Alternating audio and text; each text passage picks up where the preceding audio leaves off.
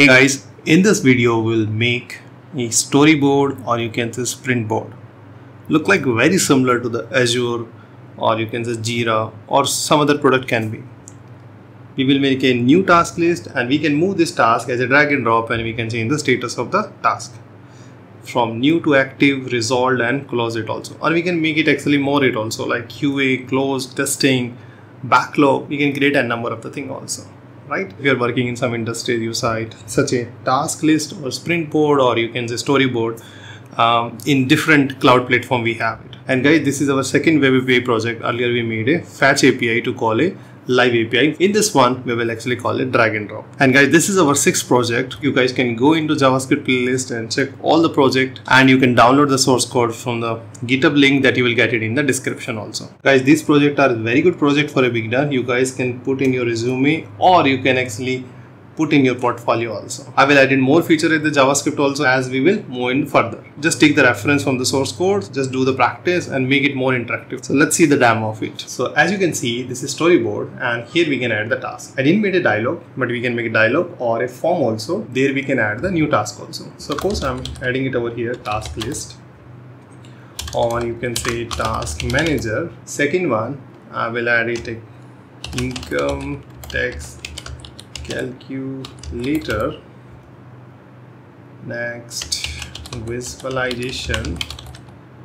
Dash next is olympic dashboard. Olympic dashboard.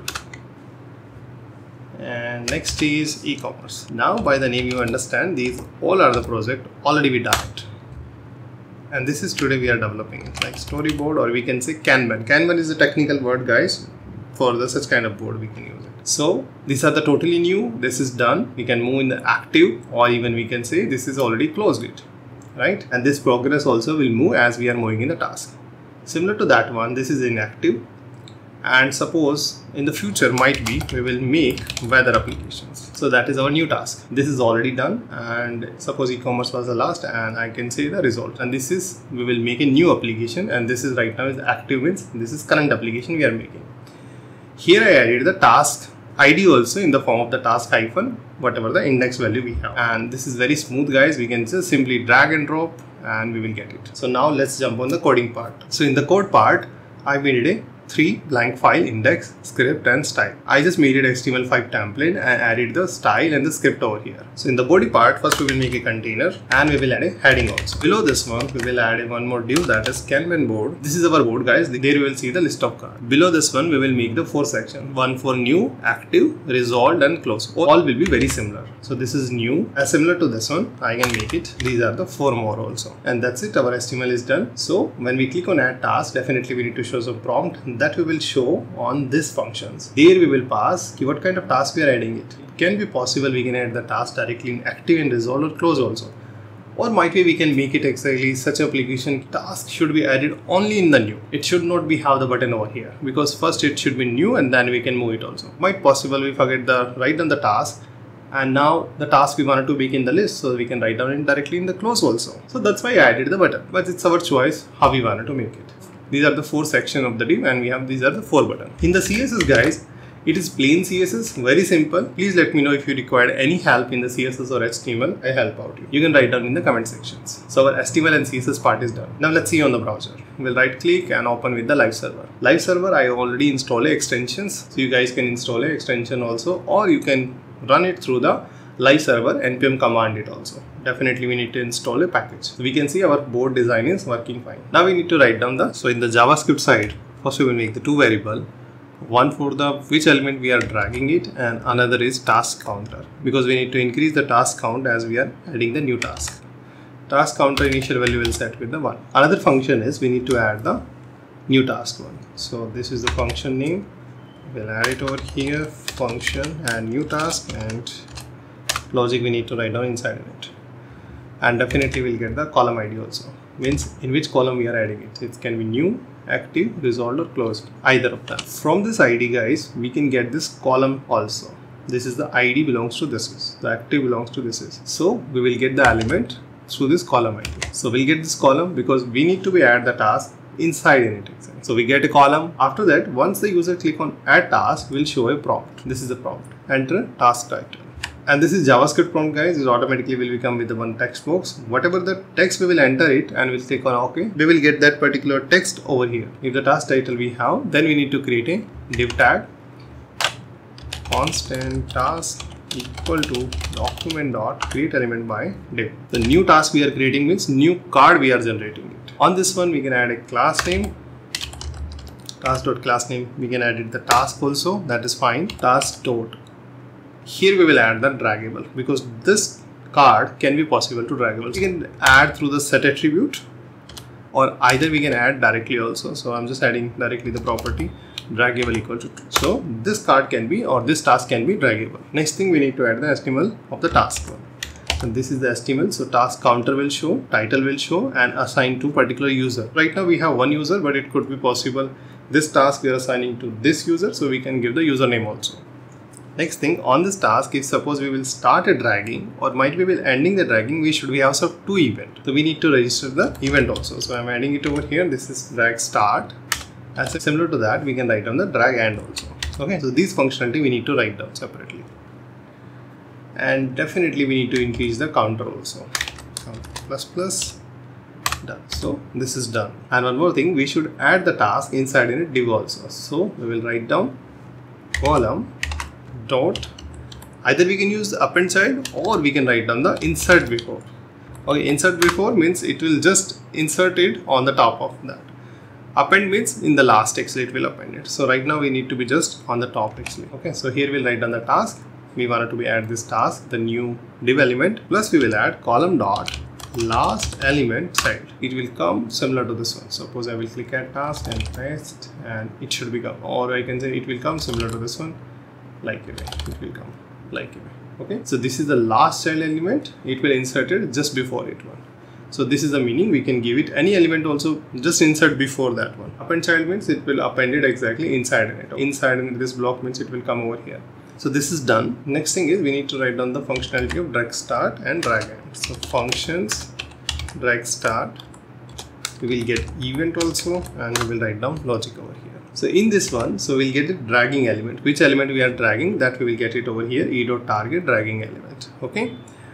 And this logic is not required. So we'll write down e dot target dot class list. First we will add the one of the class. So class list dot add and suppose at the time of dragging I just wanted to write down this is the class name okay when this particular element we will start picking we will write down this one guys if you wanted to be do some asynchronously we can use the set timeout also. So over here I'm just writing down set timeout and e dot target dot style dot display equal to none after zero second. Meaning is so whenever just drag. So you can see displays just move from here right? So when we just pick it up it will actually move from here and definitely we can see over here we need to drop it somewhere right? So we can just after a certain second okay?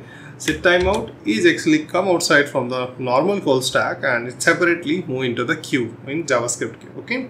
So that's why i moved it. Actually it should not become but after all this thing done so we'll just actually zero second means definitely it will separately it will take care of it. Similar to that we can write down the drag end also functions drag end and over here no we don't want but yeah definitely remove we want that we can use it also. The next thing is we want target dot style dot display equal to block. Because we want it should be display or it should be come back so that's it two things we want over here. So let's run it. Write down test over here. We can see when i move you can see. Definitely we can we cannot be put it over here because we does not made it actually this area is actually accept the draggable element. So we need to be fix this one.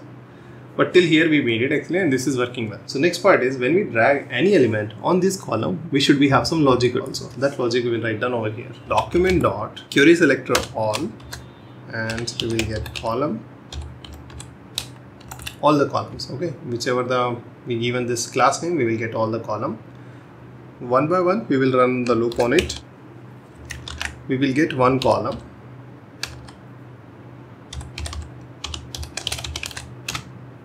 And here we'll write down the logic. First thing is when we drag over on a particular column what we wanted to do? So here we are running a loop on add every column we will register an event drag over. Add event listener drag over. This is drag over and here we'll write on the callback function. So once the drag is over then what we wanted to do? First we'll do the prevent default. Whatever the default behavior of it it will prevent it. Next thing is we will get the dragging task. Which task we are dragging? That we will get it. So when we started dragging that only particular task we will get the dragging. Only one task we will can we get the dragging. That task where we wanted to place it in that particular column. So in this column we will place this task column insert before this particular task column dot last element child. So we want all the dragging element suppose from first column to second column it should be goes in the last. We can make it also it should be goes in between but there we need to do calculations. Okay but in this program we wanted to move in the last one. Now let's test it. Suppose i'm adding few tasks and when i'm dragging it you can see it's smoothly moving in another column. Next part is we does not have any indicator okay progress bar. I showed it. So let's make a progress bar. We will make a functions update on column indicate. And here we'll write down functionality. So first we'll get document dot query selector all query selector all. Inside in it we'll get all the column. And we will run a loop on it. For each. Inside in it have one callback functions callback function name is update column indicator for example. We will make these functions over here. We will get one by one column so we are running on every column. So first column we will get it over here. So in html if we'll go we have one indicator. This indicator we will get it on every column wise. The first we will get the indicator. In the column only not in document. So we will get it in the column. So we will get column indicator here. Thing is we need to know how many tasks we have that we will get it in that particular column. We will get query selector. We'll get through the query selector all all the tasks through the task class we will get and that length only we require. So here we will get the task count. Next thing is we will calculate a simple width. We'll say math.min minimum value from these two value task multiply by 10 how many tasks we have? Suppose we have 5 tasks so task multiply by 10 okay 5 multiply by 10 50 will get it. Or either 100% either of them whatever the minimum will get it. That particular width we will add it on indicator style. So that is done. This function also we should call it always initially it should be called on the page load. Second i'm calling this functions over here when we add the particular task. Okay this two thing is done. Let's test on browser we are adding the task. You can see indicator is moving second and it is moving and it is moving. That's great. But when i'm dragging it it is not working. So we should add this line of code in the end also. When the drag is end it should be update the progress bar or indicator here also. So let's test one more time. One second task third task and I'm moving yes it is working. It is reducing also. It's working well. So that's it guys. So now our board is ready right? So similar to this applications guys and next week also we'll develop a new project. You guys can just follow it. Just take the reference of source code. Just do the practical of it. Give the suggestions. I want a project on this topic that topic if you have in your mind also. Please let me know. And thank you so much for support and watching the video. See you in the next video. Till the time happy coding